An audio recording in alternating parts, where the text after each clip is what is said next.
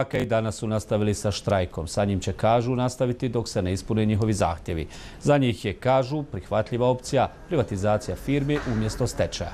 Podsjećamo, federalni nadležni ministar Nermin Đindić jučer je održao sastanak sa upravom zraka u toku dana, te je između ostalog donesen zaključak o transferu 250.000 maraka tom preduzeću.